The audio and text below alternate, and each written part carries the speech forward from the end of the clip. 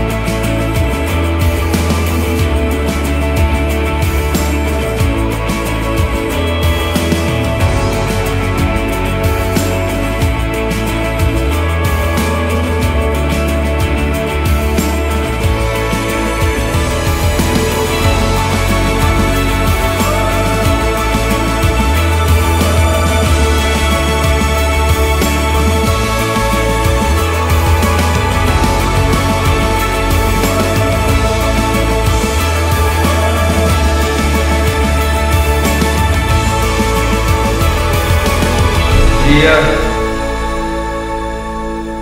no culto de sábado, no final do culto, nós já estávamos saindo, e aí atrás, na saída, a Elaine chegou para mim e falou assim, irmão,